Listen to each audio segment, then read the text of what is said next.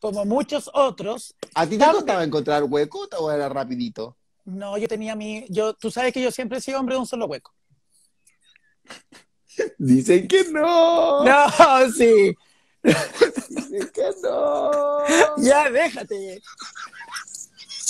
Amigo. Ya, porque se me va la onda. Ya, pues, entonces, ya, bueno, yo me estacionaba siempre en mi hueco. Mira que mi sobrina la Micaela trabajaba en esa fiesta del Lemon Lab, mi hijo, y dice que no. Ya, cállate.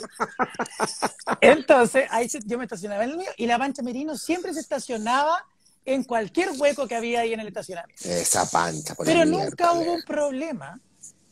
El tema es que en una ocasión estábamos a punto de salir al aire, ya terminando de maquillarnos, arreglarnos, y llega Loreto Aravena al camarín del matinal emputecida, gritando, pero como de la mitad del, del patio, indignada porque la pancha se había estacionado en su hueco. Y dijo, me robaste el hueco. No, pero qué pelea más fina.